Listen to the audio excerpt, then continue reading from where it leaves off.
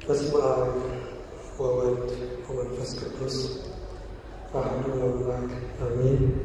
ሊቃውንተ ቤተ ክርስቲያን፣ ካህናት አባቶቼ፣ ላይካነ ምስጢር ስዩማን እግዚአብሔር ዲያቆናት በአርባና በሰማንያ ቀናችሁ አባ አባት ብላችሁ እንድትጮሁ የልጅነትን መንፈስ የተቀበላችሁ ምዕመናን ምዕመናት ሕፃናትን ጭምር በጌታችን በመድኃኒታችን በኢየሱስ ክርስቶስ ፍጹም ሰላም እንደምንቆያችሁ እንደምንሰናበታችሁ አሜን። ያለ የነበረ በዘላለም የሚኖር እግዚአብሔር አብ፣ እግዚአብሔር ወልድ፣ እግዚአብሔር መንፈስ ቅዱስ አንድ አምላክ የነፍሳችን ንጉሥ ስሙ የተመሰገነ ይሁን። እንዲሁም የተሰወረ መና ባለበት በንጹሕ የወርቅ መሶብ የምትመሰል ማንም በማይደፍረው ብርሃን ውስጥ የሚኖረውን አምላክ በሆዷ የተሸከመች የመዳናችን ምልክት የእናታችን የድንግል ማርያም ጸጋና ቃል ኪዳን አይለየን። እግዚአብሔር የሰጠን የትምህርታችን ርዕስ በፈተና የሚጸና ሰው የተባረከ ነው የሚል ነው። ብዙ ሰዎች ስለ ብዙ ነገር ያቅዳሉ። ስለ ሰርጋቸው ያቅዳሉ፣ ስለ ምርቃታቸው ያቅዳሉ፣ ከሰዎች ጋር ስላላቸው ቀጠሮ ያቅዳሉ። ስለ መከራውና ስለ ፈተናው ግን የሚያቅድ ማንም የለም። እዛ ነው መከራ ሲመጣ አይነግርም በአዋጅ ሲገሰግስ አድሮ ቀን ይጥላል እንጂ ይባላል። ስለዚህ ብዙ ፈተናዎች፣ ብዙ መከራዎች በአብዛኛው የሚመጡት ድንገት ነው፣ ሳናስበው ነው። በዚህ ትምህርት ውስጥ የሰው ልጅ ለምንድን ነው የሚፈተነው፣ ለምንድን ነው በመከራ ውስጥ የሚያልፈው የሚለውንና መከራና ፈተና ሲመጣ ምንድን ነው ማድረግ ያለብን፣ ከእኛስ የሚጠበቀው ምንድን ነው የሚለውን ዛሬ ለማየት የምንሞክረው። ፈተና ሰው ስለሆንም ብቻ ይመጣል። በስጋ ውስጥ እስካለን ድረስ በዚች ምድር ውስጥ እስከኖርን ድረስ ያለ መከራና ያለ ፈተና መኖር አንችልም። ምክንያቱም የምንኖረው ገነት ላይ ነው። የምንኖረው መንግሥተ ሰማያት ላይ አይደለም። የምንኖረው ብዙ ውጣ ውረድ ባለባት በቆሰለችውና በደማችው ዓለም ላይ ነው የምንኖረው። ስለዚህ አንዳንድ ጊዜ ሕመም አለ፣ አንዳንድ ጊዜ ማጣት አለ፣ አንዳንድ ጊዜ ተደራራቢ የሆኑ ፈተናዎች አሉ። በእርግጥ አዳዲስ የሆኑ ትምህርቶችን አንዳንዴ እንሰማለን አይደለ? ክርስቲያን ከሆንክ አትታመምም፣ ክርስቲያን ከሆንክ ድሃ አትሆንም፣ በኑሮ ጉድለት ውስጥ አትኖርም እያሉ የሚያስተምረዋል። ግን እግዚአብሔር ወገኖች እንዲህ አይነት ተስፋ ለትውልዱ አልሰጠም። እኔን ካመናችሁ አትታሰሩም አላለም እግዚአብሔር። እኔን ካመናችሁ መከራ አይደርስባችሁም አላለም እግዚአብሔር። የምድሩ ኑሮ ሊሆንም ላይሆንም ይችላል፣ ሊሳካም ላይሳካም ይችላል። የተረጋገጠው ተስፋ ግን የሰማይ ብቻ ነው ወገኖች። እዛ ነው መጽሐፉ በመንፈሳዊ በረከት በሰማያዊ ስፍራ ተባርካችኋል ነው የሚለው። እንደውም መጽሐፉን ስታነቡ የጻድቃን መከራቸው ብዙ ነው ይላል። ወደ ክርስትናው ስትመጡ መከራው ብዙ ነው፣ ፈተናው ብዙ ነው፣ ተግዳሮቱ ብዙ ነው። እግዚአብሔር ግን ከፈተናው በኋላ የሚሰጠው ክብርና በረከት ዘላለማዊ ነው ወገኖች። ስለዚህ በኢትዮጵያ ኦርቶዶክስ ተዋሕዶ ቤተ ክርስቲያን ውስጥ ክርስቲያን ኮንክ መከራ አይደርስብህም የሚል ትምህርት የለም ወገኖች። እያነባን እግዚአብሔርን ልንከተለው እንችላለን። ቆሎ እየበላን እግዚአብሔርን ልንከተለው እንችላለን ወገኖች። እግዚአብሔርን የምናመልከው አንዳንድ ነገሮችን ስለሰጠን ወይም ስላልሰጠን አይደለም። ጤና ስለሰጠን አይደለም። በረከት ስለሰጠን አይደለም ወገኖቼ። እግዚአብሔር የሚመለከው እሱ እግዚአብሔር ስለሆነ ነው። አታስታውሱም? ሰለስቱ ደቂቅ ሶስቱ ሕፃናት ናቡከደነጾር ምስሉን በዱራ ሜዳ ላይ ካቆመ በኋላ ስገዱ አላቸው። እነሱም አንተ ላቆምከው ምስል አንሰግድም ሆይ ወደ እሳት ውስጥ ጣለን፣ እግዚአብሔር ከዚህ እሳት ያድነናል። ነገር ግን ንጉሥ ሆይ እግዚአብሔር ባያድነን እንኳን አንተ ላቆምከው ምስል አንሰግድም አሉት። ወገኖች እንዲህ የሚል ክርስቲያን አለ። እግዚአብሔር ከበሽታዬ ባያድነኝም እግዚአብሔር ጉድለቴን ባይሞላውም ግን እሱ አባት ነውና እሱ አምላክ ነውና አመልከዋለሁ የሚል ሰው አለ ወገኖች። ብዙዎቻችን እያሰላን ነው የምንመጣው አይደል? ስሌት ውስጥ ገብተን ነው እግዚአብሔር ግን የዘላለም አባት የዘላለም አምላክ ነውና ሁሌ ሊመለክ የሚገባው ጌታ ነው። ስለዚህ ሰው ስለሆንን ፈተና ይመጣል። ይሄ ብቻ አይደለም፣ ሰዎች በምኞታቸው ምክንያት ወደ ፈተና ውስጥ ይገባሉ። እኛ ብዙ ጊዜ የምንፈራው የሰይጣንን ፈተና ነው አይደል? የዲያብሎስን ውጊያ እንፈራለን። ዲያብሎስ እኮ የሁል ጊዜ ፈታኛችን አይደለም። እንደውም መጽሐፉ ጌታችንን ሰይጣን ከፈተነው በኋላ ለጊዜውም ቢሆን ትቶት ሄደ ይላል። አያችሁ፣ ሰይጣን ሁል ጊዜ አይፈትነን፣ ትቶን የሚሄድበት ጊዜ አለ። አንድ ግን የሁል ጊዜ ጠላት አለብን። አንድ የሁል ጊዜ ባላጋራ አለብን። እሱም ምንድን ነው ካላችሁ ክፉ ምኞታችን ነው፣ ክፉ መሻታችን ነው። ወገኖች ከፈራችሁ እሱን ፍሩ። እግዚአብሔር እንዲጠብቃችሁ ከጸለያችሁ ከምኞታችሁ እንዲያድናችሁ ጸልዩ ወገኖች።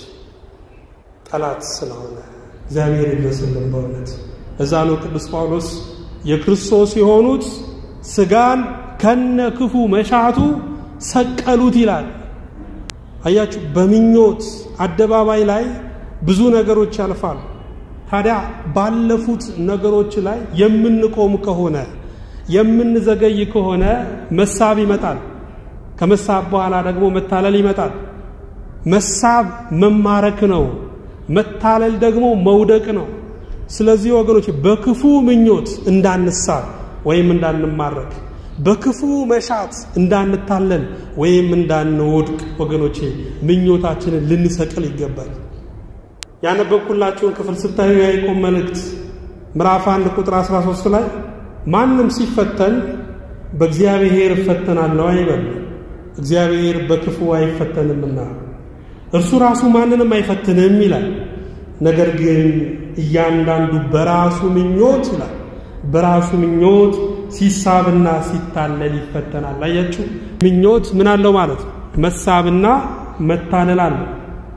ከዚያ በኋላ ምኞት ጸንሳ ኃጢአትን ትወልዳለች፣ ኃጢአትም ካደገች በኋላ ሞትን ትወልዳለች ይላል። አያችሁ። ስለዚህ ክፉ መሻት የልጅ ልጅ አለው። ክፉ ምኞት የልጅ ልጅ አለው። ልጁ ምንድን ነው ካላችሁ ኃጢአት ነው። የልጅ ልጁ ደግሞ ምንድን ነው ካላችሁ ሞት ነው ወገኖች። ስለዚህ የኃጢአትን ጽንስ ልናጨናግፍ ይገባል። የበደልን ጽንስ ልናቋርጥ ይገባል ወገኖች፣ ፍጻሜው ጥሩ ስለማይሆን ለዛ ነው ተፍጻሜተ ሰማዕት ቅዱስ ጴጥሮስ አርዮስን ምንድን ነው ያለው? አርዮስን ጠራና ልጄ ሆይ ይሄ የሚባለውን ኃጢአት ካሰብከው እንዳትናገረው፣ ከተናገርከው እንዳታደርገው፣ ካደረግከው ደግሞ እንዳትደግመው አለ። ለምን? መጨረሻው የሚያምረው መልካም ነገር ብቻ ስለሆነ ወገኖች፣ በመልካም ነገር ተጎዳው፣ በክፉ ነገር ደግሞ አተረፍኩ ሊል ማንም አይችልም ወገኖች። በሰማይና በምድር ትልቁ ማትረፊያው መልካምነት ነው። የመልካምነት ውጤት ካልገባችሁ ወገኖቼ ገበያ አታውቁም ማለት ነው። መልካምነት ለራስ ስለዚህ ክፉ ምኞትን ማስወገድ ያስፈልጋል። ሰው በክፉ ምኞቱ ስለሚፈተን ክፉ መሻት መፍትሄው ምንድን ነው? የመጀመሪያው አለማስተናገድ ነው። በቃ ልብን መዝጋት። አንድ መጽሐፍ ላይ ሳነብ ብዙ ጊዜ ይላል መጽሐፉ ውሾች የሚበዙት ስጋ ቤት አካባቢ ነው አይደል?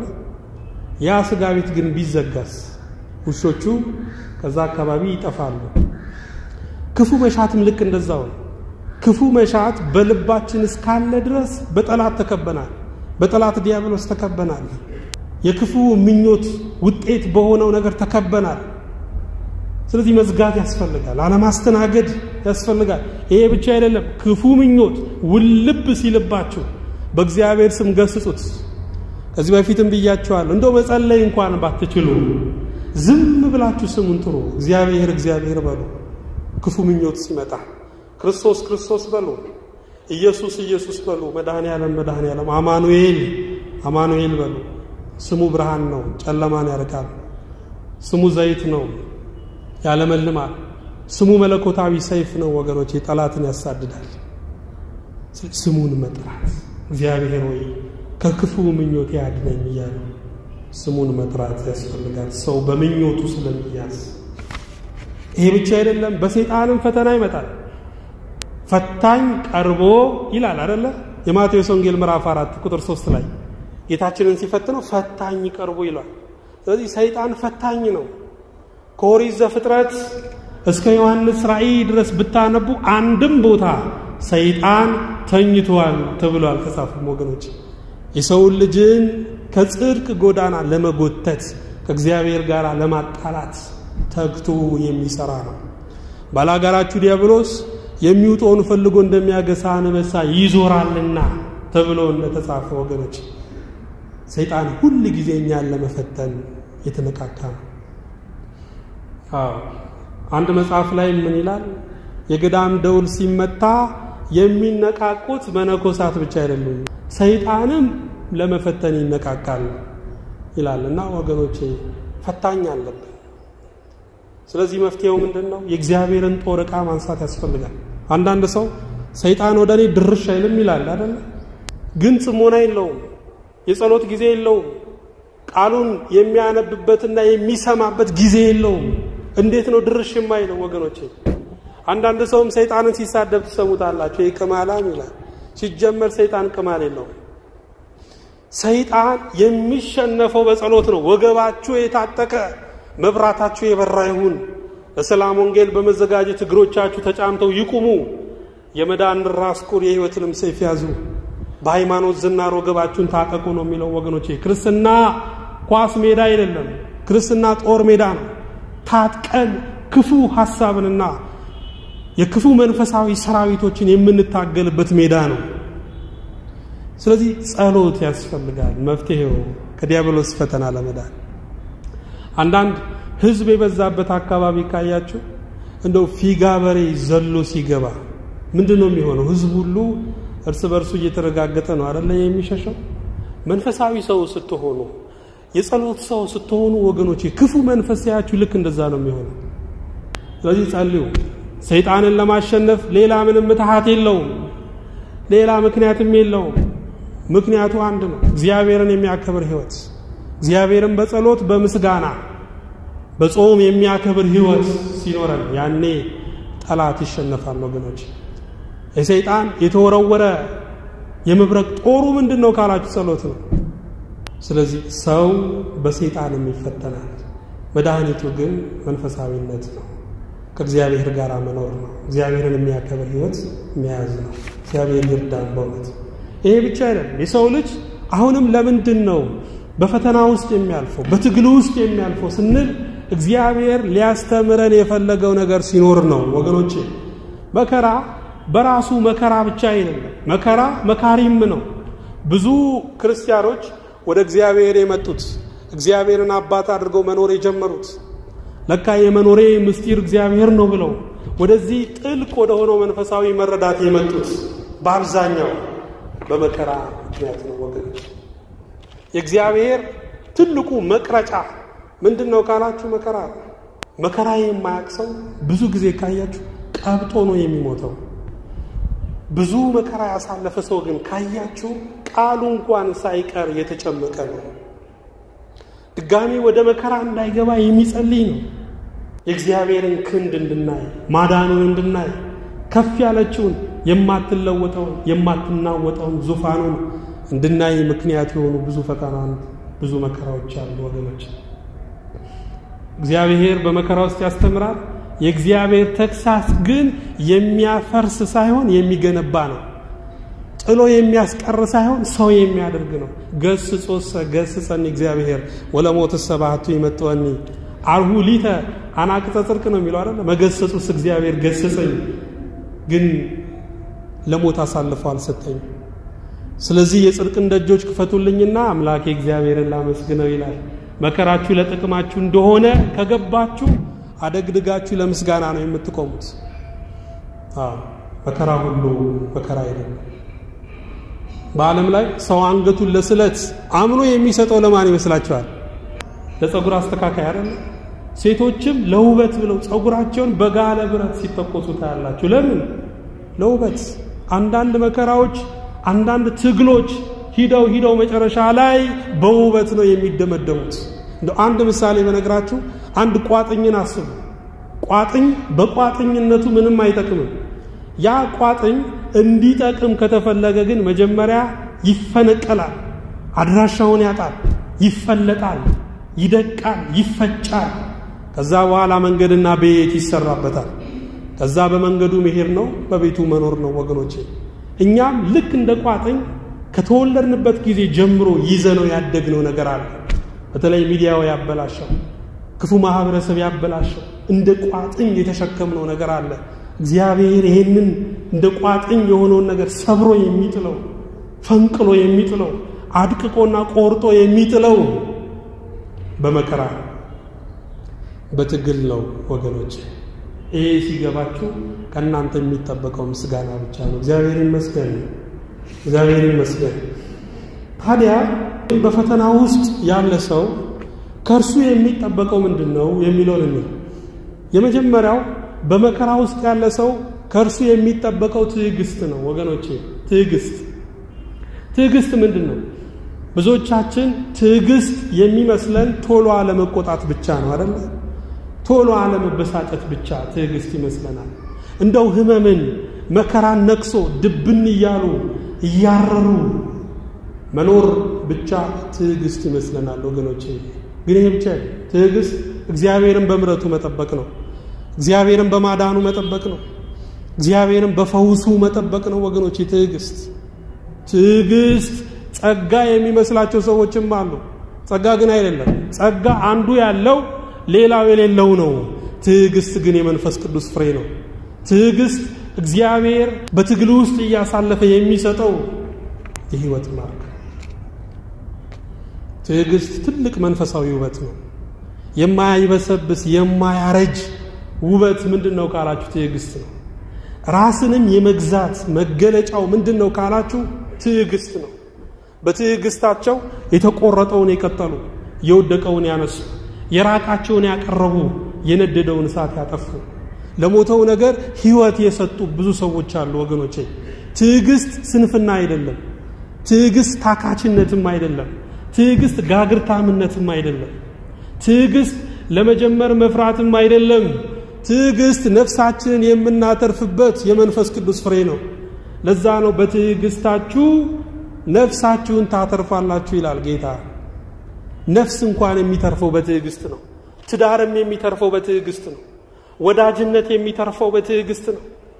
ንጹሕ ሕሊና የሚተርፈው በትዕግስት ነው። በአጠቃላይ በሰማይና በምድር ትልቁ ማትረፊያ ወገኖች ትዕግስት ነው። ስለዚህ ታገሱ፣ ታገሱ። እዚሁ ክፍል ላይ ያዕቆብ መልእክት ምን ይላል?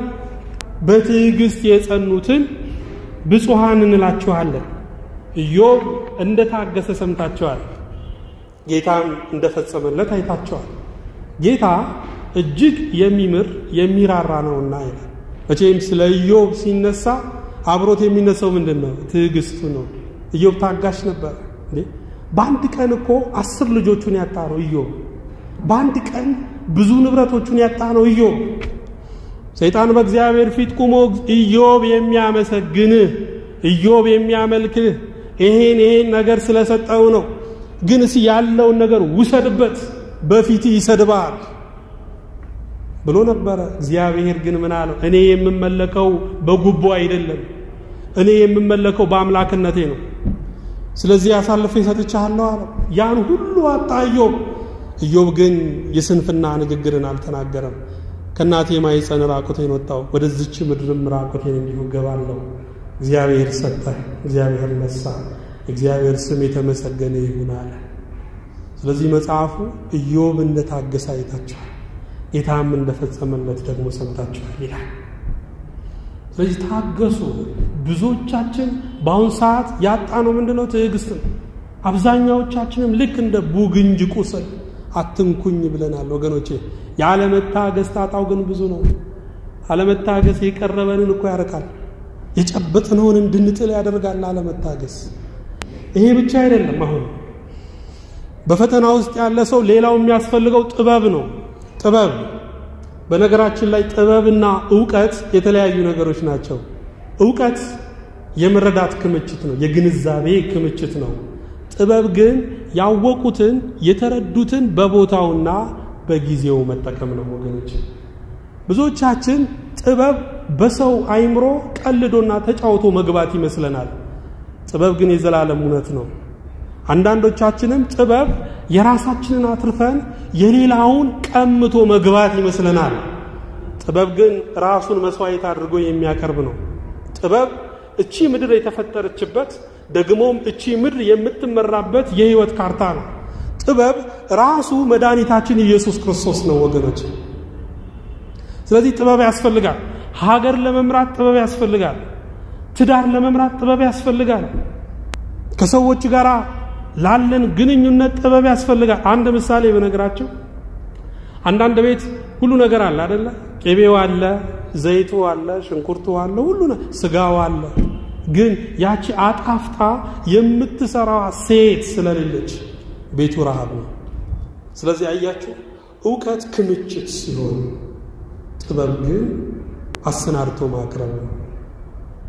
እውቀት በሬው ከነቁመናው፣ ጥበብ ግን ክትፎ ነው፣ ጥብሱ ነው፣ ግብዣው ነው፣ ጥጋቡ ነው ወገኖች።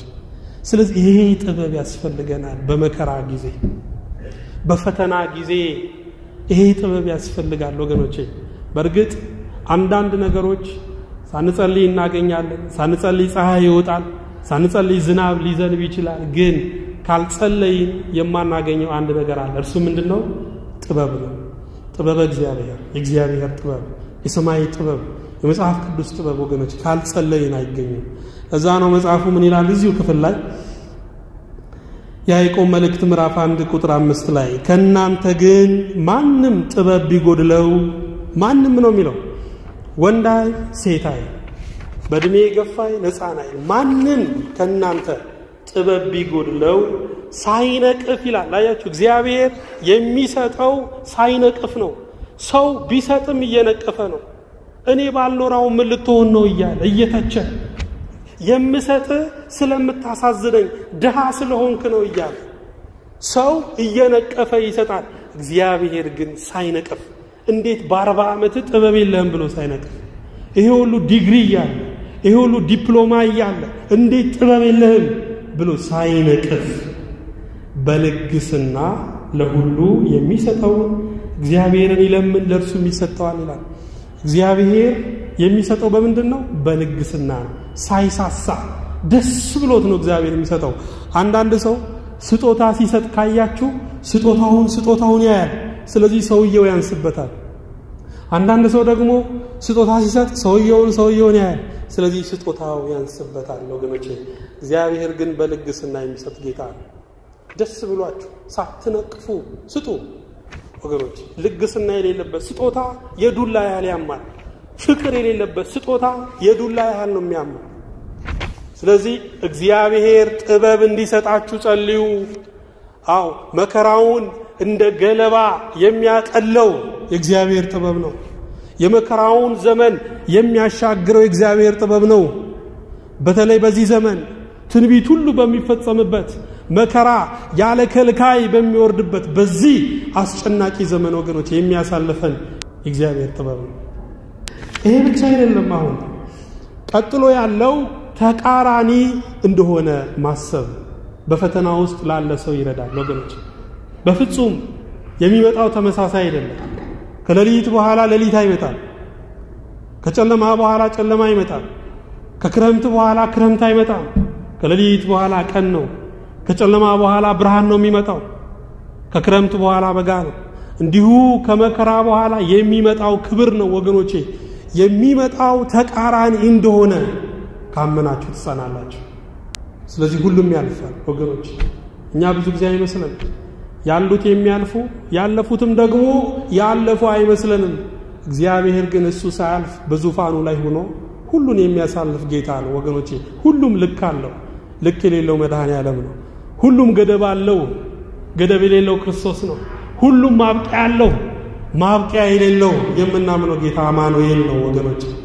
ይሄንን ማመን ያስፈልጋል። እኔ አንድ በአንድ ወቅት አንድ መንፈሳዊ መጽሔት ሳነብ ስለ አንዲት ሴት ነው የሚናገረው መጽሐፉ። በጣም ነው የገረመኝ። ምንድን ነው ሴትየዋ ባሏ ሙቶባታል እና ስለ እሱ ስታስብ በጣም ታዝናለች። ስለ ልጆቹ ስታስብ ጀምሮ ያልጨረሰውን ነገር ስታስብ እንደው ተበታትኖ ያለውን መሰብሰብ ስላልቻለ በዚህ ሁኔታ ስለሄደና ስለሞተ በዚህ ነገር ትጨነቅ ታዝን ነበርና በአንድ ወቅት መጽሐፍ ቅዱስ ሳነብ ልቤን የሚያሳርፍልኝ ቃል አገኘው ብላ ስትናገር መጽሔቱ ላይ አይቻለሁ። ያንን ጥቅስ ላንብብላችሁ ለእናንተም ስለሚተርፍ እንዲህ ይላል። አንደኛ ቆሮንቶስ ምዕራፍ 7 ቁጥር 29 ላይ ይላል፣ ዳሩ ግን ወንድሞች ሆይ ይህን እናገራለሁ፣ ዘመኑ አጭር ሆኗል።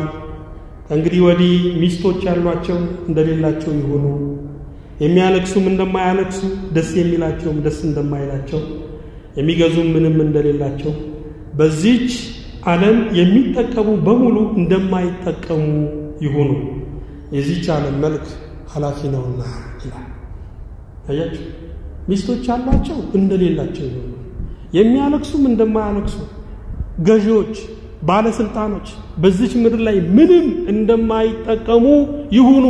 ለምን? የዚህ ዓለም መልክ ኃላፊ ነውና። ወገኖች፣ ሁሉም ያልፋል። ለዘላለም ከእኛ ጋር ተጣብቆ የሚኖር ችግርና መከራ የለም ወገኖች። ለግል ኑሯችን ለግል ሕይወታችን ቢያንስ እንኳን ሞት የተባለ ገደብ አስቀምጧል እግዚአብሔር። ለዓለሙ መከራ ለዓለሙ ፈተና ደግሞ ዳግም ምጽአት የሚባል ገደብ አስቀምጧል። ሁሉም ገደብ አለው። ሁሉም ማብቂያ አለው። ማብቂያ የሌለው እግዚአብሔር ብቻ ነው። ስሙ የተመሰገነ ይሁን። ይሄንን ማሰብ ለፈተና ይረዳል።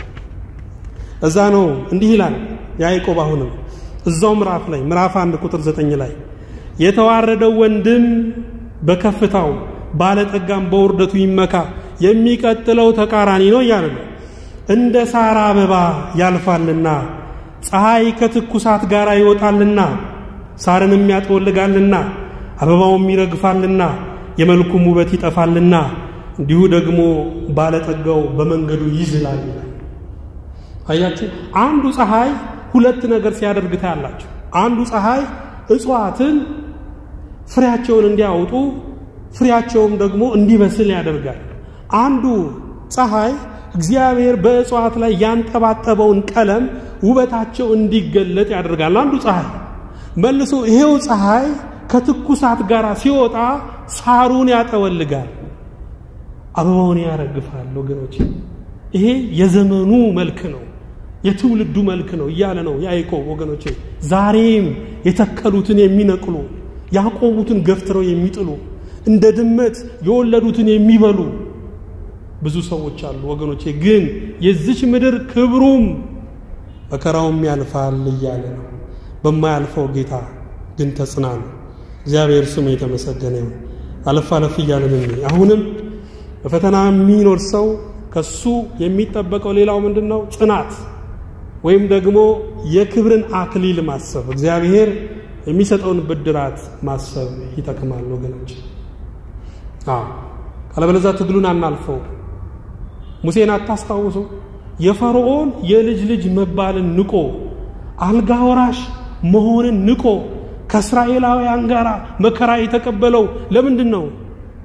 የክርስቶስን ብድራት ትኩር ብሎ ስለተመለከተ ነው ይላል። ወገኖች ብድራታችሁን ካያችሁ፣ እግዚአብሔር የሚሰጣችሁን ዋጋ የክብር አክሊል እሱን ካያችሁ በመከራ ትጸናላችሁ፣ በፈተና ትጸናላችሁ። እግዚአብሔር ደግሞ የማንንም ብድራት የማያሳልፍ ጌታ ነው። የአንድ ብርጭቆ ውሃ ዋጋ እንኳን አያልፍበትም ወገኖች። በደቀ መዛሙርቴ ስም ቀዝቃዛ ውሃ ያጠጣ ነው የሚለው ዋጋውን በሰማይ ያገኛል። ስለዚህ ያንን ክብር ማሰብ እንድንጸና ያደርገናል። አሁን ያለው መከራ ሊገለጥ ካለው ክብር ጋር ስናነጻጽረው ያልከው ጳውሎስ ምንም እንደሆነ ነው የምቆጥረው። መቶ ዓመት የተቀበላችሁት መከራ በሰማይ በአንድ ደቂቃ ደስታ ይካሳል ወገኖች። አይደለም ዘላለም አንድ ደቂቃ በሰማይ ያለው የአንድ ደቂቃ ደስታ እድሜ ልካችሁን የተቀበላችሁትን መከራ ይክሳል፣ ያስረሳል ወገኖች። ስለዚህ ክብሩን ማሰብ እንድንጸና ያደርገናል። እዛ ነው ርዕሳችን ምን ይላል? በፈተና የሚጸና ሰው የተባረከ ነው። ከተፈተነ በኋላ ለሚወዱት ተስፋ ስለ እርሱ የሰጣቸውን የሕይወትን አክሊል ይቀበላልና። በፈተና የሚጸና ሰው የተባረከ ነው ማለት አንደኛ ደስተኛ ነው ማለት ነው። ደስታ ከዚህ በፊት እንደነገርኳችሁ ደስታ በዝሙት የለም። ደስታ በመጠጥ የለም። ደስታ አየር ላይ በመሄድ ውሃ ላይ ቤት በመስራት አይገኝም። ደስታ በመልክዓ ምድር ውስጥ አልተቀመጠም። ደስታ በጊዜ ውስጥም የለም። እውነተኛ ደስታ ያለው በጽናት ውስጥ ነው። ለክርስቶስ ታምኖ በመኖር ውስጥ ስለ ስሙ መከራ በመቀበል ውስጥ ነው እውነተኛ ደስታ ያለው ወገኖች። ስለዚህ የተባረከ ነው ይላል። ይሄ ብቻ አይደለም። በፈተና የሚጸና ሰው ህይወቱ ለሌላው ምሳሌ ነው፣ ለሌላው አስተማሪ ነው። እንዲህ አይነቱ ስብከት እንዲህ አይነቱ የቃል ጉባኤ ምናልባት የመቶና የሁለት መቶ ሰዎችን ልብ ቢነካ ነው ወገኖቼ፣ ጽናት ግን ሺዎችን የሚማረክ ነው። ስለዚህ ስትጸኑ ለብዙዎች ምሳሌ መሆን ትችላላችሁ። ይህ ብቻ አይደለም፣ ማማረርን ማስወገድ በፈተና ሰዓት የያዕቆብ መልእክት አሁንም ምዕራፍ 1 ቁጥር 13 ላይ ማንም ሲፈተን በእግዚአብሔር እፈተናለሁ አይበል። ይሄ ሁሉ መከራ የደረሰብኝ ይሄ ሁሉ ችግር የደረሰብኝ ቆይ ምን አድርጌ ነው አንበል። እንዴ ምን ሰርቼ ነው ካለን ምን ያልሰራ ነው ነገር አለ ወገኖች። የትም ብትሄዱ እኮ ጥሩ ሰው እንጂ ፍጹም ሰው አታገኙ። ያልበደለ ሰው እኮ አታገኙ። በእግዚአብሔር ቤት እንኳን ደና ጀርባ ያለው ማን ነው? ሁሉ በድሏል ነው የሚለው። ሁሉም የእግዚአብሔር ክብር ጎሎታል ይላል። ያኖረን የእግዚአብሔር ይቅርታ ነው። ሰው ያረገን በፊቱ ያስቀመጠን የእግዚአብሔር ቸርነት ነው ወገኖች። ስለዚህ አታጉረምርሙ በመከራችሁ ሰዓት፣ ይልቁኑ አመስግኑ። እስራኤላውያን እኮ አርባ ቀን የሚፈጀው መንገድ አርባ ዓመት የፈጀባቸው ስላጉረመረሙ ነው። ለዛውም ከግብፅ የወጡትን ስታዩ ሁለት ሰው ብቻ ነው ምድረ ርስትን የወረሰው እና ከሀያ ዓመት በታች ያሉ ወጣቶች በግብፅ ያልተወለዱ በምድረ በዳው የተወለዱ እነሱ ናቸው ምድረ ርስትን የወረሱት። ሌላ ሁሉ በምድረ በዳው በቃዴስ በርኔ የበረሃው አሸዋ ነው የበላቸው። ነዝር የተባለ እባብ ነው እየነደፈ የገደላቸው። ለምን? ስላጉረመረሙ። አያችሁ፣ ማጉረምረም እግዚአብሔርን ከሴጣን ጋር ሆኖ ማማት ነው። ማጉረምረም እግዚአብሔር ስራ አቁሟል ማለት ነው። ስለዚህ ምስጋና ማሸነፍ ያለው ድል ያለው መሻገር ያለው በምስጋና ነው። እግዚአብሔር ይርዳል። ይሄ ብቻ አይደለም። አሁን አቋራጭ መንገድ አለመጠቀም። ብዙ ሰዎች ፈተና ሲመጣባቸው አቋራጭ መንገድ ይጠቀማሉ። ወደ ጠንቋይ ቤት ይሄዳሉ። የሰይጣንን ደጆች ማንኳኳት ይጀምራሉ። ወገኖች ግን ግድ የላቸው። እግዚአብሔርን ጠብቁት። በለሱን የጠበቀ ፍሬውን ይበላል፣ ጌታውንም የጠበቀ ይከብራል ተብሎ ነው የተጻፈ። እግዚአብሔር ቢዘገይም ግን ከኛ ፍጥነት በላይ ነው። እግዚአብሔር ቢዘገይም የሚቀድመው ማንም የለም ወገኖች። ስለዚህ ጠብቁት። ኦሪት ዘፍጥረት ምዕራፍ 16ን ስታነቡ አብርሃም ልጅ የለኝም እያለ ይብሰለሰል ነበር፣ ያዝን ነበር። ሳራም ምናልባት እግዚአብሔር ልጅ የሚሰጥ በአጋር በኩል ይሆናል፣ ስለዚህ ወደ አጋር ግባ አለችው። ወደ አጋር ገባ። አጋርም ጸነሰች፣ ልጅም ወለደች። እስማኤል የአስራ ሁለት ዓመት ልጅ ሲሆን ኦሪት ዘፍጥረት ምዕራፍ 17ን ሂዳችሁ ስታነቡ ድጋሚ አብርሃም ልጅ የለኝም እያለ ይቆዝማል። እንዴ እስማኤል እኮ ተወልዷል። የአስራ ሁለት ዓመት ልጅ እኮ አለ። ግን የአቋራጭ መንገድ ደስተኛ ስላላደረገው ነው ወገኖች። ዛሬም በአቋራጭ መንገድ ገንዘቡንም ሀብቱንም ዝናውንም ትዳሩንም ልንይዘው እንችላለን፣ ግን ደስታ የለውም፣ እርካታ የለውም ወገኖቼ። እንደ እግዚአብሔር ፈቃድ የምታገኙት እንደ ተስፋው ቃሉ የምታገኙት ግን አይደለም። በረከቱ መከራው ራሱ ሰላም አለው፣ ፈተናው ራሱ የውስጥ እርካታ አለው ወገኖች። ስለዚህ አቋራጭ መንገድ አትጠቀሙ፣ እግዚአብሔርን ጠብቁት። ምን ይላል? የያዕቆብ መልእክት ምዕራፍ 1 ቁጥር 17 ላይ በጎ ስጦታ ሁሉ ፍጹምን በረከት ሁሉ ከላይ ናቸው ይላል። አያችሁ፣ እግዚአብሔር ነው የሚሰጣችሁ። እግዚአብሔር ካልሰጣችሁ እንኳን ሰው መልአክም አይሰጣችሁም። የደጎች ደግነት የለጋሾች ልግስናም አይሰጣችሁም። ሰጪ አንድ አምላክ ብቻ ነው፣ ስሙ የተመሰገነ ይሁን። በጎ ስጦታ ሁሉ ፍጹም በረከት ሁሉ ከላይ ናቸው። መለወጥ በእርሱ ዘንድ ከሌለ በመዞር የተደረገ ጥላ በእርሱ ዘንድ ከሌለ ከብርሃናት አባት ይወርዳሉ ይላል። አያችሁ እግዚአብሔር በመዞር የሚደረግ ጥላ የለውም። የምድሩን ፀሐይ ካያችሁ፣ የምድሩን ብርሃን ካያችሁ በመዞር የሚደረግ ጥላ አለው። ጥላ ደግሞ የጉድለት ምልክት ነው። እግዚአብሔር ግን በመዞር የሚደረግ ጥላ የለውም። ጥላ የሌለው ብርሃን፣ ጉድለት የሌለው በረከት ነው ወገኖቼ። እንዲህ አይነት አባት እያላችሁ፣ እንዲህ አይነት ጌታ እያላችሁ ለምን ከሌላው ትከጅላላችሁ? ለምን ከሰው ትከጅላላችሁ? ሰው ቢሰጣችሁ እኮ በዚህ እጅ ነው። የሰው እጅ ትንሽ ነው፣ የእግዚአብሔር እጅ ግን ሰፊ ነው። ስሙ የተመሰገነ ይሁን። ከሱ መጠበቅ ይሻላል። በመጨረሻ ግን ምን ይላል? ቃሉን ሲዘጋ ለፍጥረቱ የበኩራት አይነት እንድንሆን በእውነት ቃል አስቦ ወለደን። ባልና ሚስት ወገኖች ሊሳሳቱ ይችላሉ። ሳላስበው እኮ ነው የወለድኩት የሚሉ ሰዎች ሳላስባት ነው የወለድኳት ይላሉ። ባልና ሚስት ሊሳሳቱ ይችላሉ። እግዚአብሔር ግን አይሳሳትም ወገኖች። እንደው ሳላስበው ነው የወለድኩት ቢሉም ባልና ሚስት ግን ሳያስቡት ለወለዱት ልጃቸው መልካም ነገር ያደርጋሉ፣ በጎ ነገር ያደርጋሉ። እግዚአብሔር ግን አስቦ የወለደን አምላክ ነው። ስሙ የተመሰገነ ይሁን። ድንገት ወደዚች ምድር የመጣ የለም። በእግዚአብሔር ታስቦ የመጣ ነው ሁሉ። ስለዚህ ለእኛ መልካም ነገር እንደሚያደርግ ማመን ያስፈልጋል። እግዚአብሔር ይመስገን። ይሄ ብቻ አይደለም። አሁን ቃሉን መኖር ያስፈልጋል በፈተና ውስጥ ላለ ሰው እዚሁ የያዕቆብ መልእክት ምዕራፍ 1 ቁጥር 22 ላይ ቃሉን የምታደርጉ ሁኑ እንጂ ራሳችሁን እያሳታችሁ የምትሰሙ ብቻ አትሁኑ። ቃሉን የሚሰማ የማያደርገውም ቢኖር የተፈጥሮ ፊቱን በመስታወት የሚያይን ሰው ይመስላል። ራሱን አይቶ ይሄዳልና ወዲያው እንደምን እንደሆነ ይረሳል ይላል። እኛ መቼም አሁን ጠዋት ከቤታችን ስንወጣ መስታወት እናያለን አይደል? መስታወት የምናየው ፊቴ ላይ እዚህ ጋር ቆሻሻ አለብኝ ወይ የሆነ ነገር አለብኝ ብለን መረጃ ይዘን እንድንቀመጥ ነው እንዴ መስታወት የምናየው? አይደለም። ያን ነገር ለማጽዳት ንጽህናችንን ለመጠበቅ ነው። እግዚአብሔርም የቃሉን መስታወት የሚያሳያችሁ ቃሉን የሚያሰማችሁ የመረጃ ሰው እንድትሆኑ አይደለም፣ የሰማችሁትን ወደ ህይወት እንድታመጡ ነው ወገኖቼ። በክርስትና ህይወት ውስጥ እምነታችንን በሌላው እምነት ወይም በሌላው ሃይማኖት ዘንድ አእምሮና ፈክቶ እንዲያሳይ የሚያደርገው ከቃል በላይ በህይወት ስንኖር ክርስቶስ ደግሞ ቃል ብቻ አልሰጠንም፣ ክርስቶስ ህይወትም ሰጥቶናል። እያንዳንዱ የጽድቅን ስራ ፈጽሞ አሳይቶናል ወገኖቼ። በአጭር ቃል ክርስትና ማለት ደግሞ እሱን መስሎ መኖር ነው። እሱ የተናገረውን ደግሞ መናገር፣ እሱ የረገጠውን አስተካክሎ መርገጥ፣ እሱ በጻፈው ላይ ደርቦ መጻፍ። ይሄ ነው የክርስትናው መገለጫ ወገኖች። ስለዚህ የቃል ሰው ብቻ ሳይሆን የህይወትም ሰዎች እንድንሆን እግዚአብሔር ይርዳን በእውነት። አሁንም በመከራ ሰዓት የሚያስፈልገው አንደበትን መጠበቅ። በተለይ በፈተና ውስጥ ያለ ሰው ዝም ብሎ ነው የሚነጫነጨው። አስተያየት ማብዛት ይፈልጋል። ዝም ብሎ አስር ጊዜ ይቆጣል። ስለዚህ በተቻለን መጠን ፈተና ሲመጣ አንደበታችንን መግታት ያስፈልጋል። ኃይልም ይቆጥባል። ጌታችን ኢየሱስ ክርስቶስ በመጽሐፍ ቅዱስ ውስጥ አስደናቂ ዝምታ ያደረገው የመጀመሪያው በከነናዊቷ ሴት ፊት ሲሆን ሁለተኛው ግን በጲላጦስ ፊት ነው።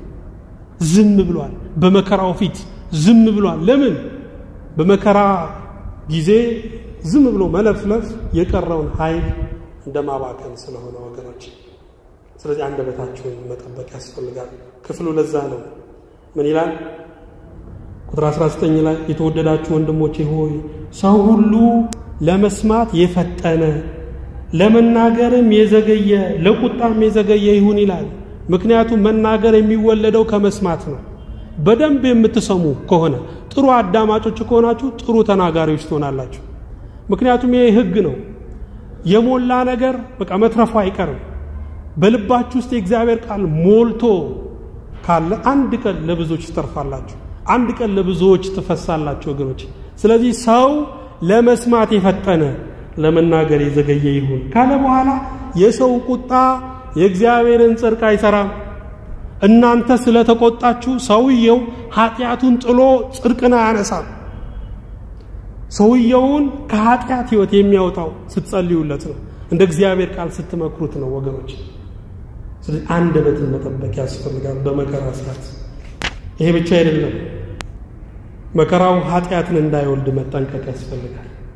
መከራ በራሱ ኃጢአት አይደለም። እንኳን እኛ መድኃኒታችን ኢየሱስ ክርስቶስ ራሱ እኮ ብዙ መከራ ተቀብሏል። እንደውም መጽሐፉ የሕማም ሰው ይለዋል። አልዓዛርንም ስለ አልዓዛር መጽሐፍ ቅዱስ ስታነቡ የምትወደው አልዓዛር ታሟል አይደል ያሉት። ጌታ የሚወደውም አያችሁ ይታመማል።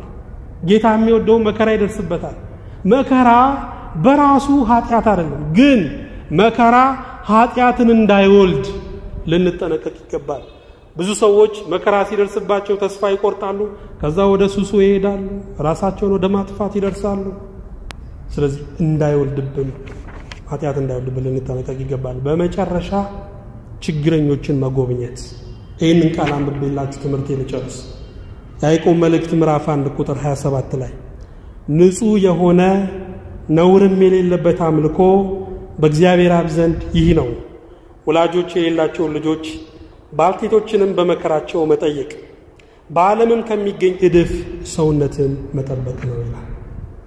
ስለዚህ በችግራችሁ ሰዓት ወገኖች፣ በመከራችሁ ሰዓት እግዚአብሔር ደግሞ እናንተን እንዲረዳችሁ ግድ የላችሁም። በምትችሉት መጠን ችግረኞችን ሲያስቡ መልሳችሁ መፍትሄው ያ ብዙዎቻችን ግን እንዲህ አይደለም። አምስት ቀን የተራበ ሰው ካየ እንዴ እኔ እኮ አስር ቀን ነው የተራብኩት እንላለን። በመከራ ውስጥ ያለ ሰው ሲገጥመ እንዴ እኔ እኮ ከዚህ የባሰ ነው የደረሰብኝ እንላለን። አልገባንም ወገኖች። እግዚአብሔር ሲጀመር በመከራ ውስጥ ያሳለፈን የረሃብተኞች የረሃብ ስሜት እንዲገባን ነበረ። የችግረኞች የጉርለታቸው ስሜት እንዲገባን ነበረ። እኛ ግን አልገባንም። ስለዚህ ችግረኞችን አስቡ። ያኔ እግዚአብሔር በማውጫው በረድኤቱ ከደረሰባቸው መከራ ያወጣቸዋል ወገኖች። አዎ ችግረኞችን ማሰብ እግዚአብሔርን ማሰብ ነው። ችግረኞችን መርሳት ደግሞ እግዚአብሔርን መርሳት ነው። የእግዚአብሔር ባንክ ቤቱ የት ውስጥ ነው አላችሁ? የድሆች ሆድ ውስጥ ነው። እግዚአብሔር ስጦታችሁን መባችሁን የሚቀበልበት መንገድ በድሆች አፍ ነው። ምስኪኖችን ስታስቡ መከራውን ትሻገራላችሁ ወገኖች።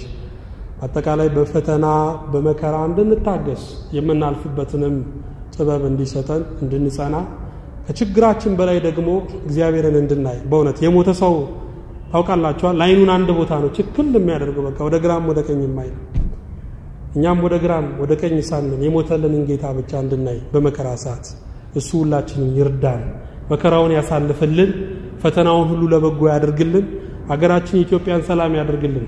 ሊመጣ ያለውን መከራ ሊፈስ ያለውን ደም መድኃኒታችን ኢየሱስ ክርስቶስ በስሙ ጉልበት ያቁምልን። ወስብሐት ለእግዚአብሔር።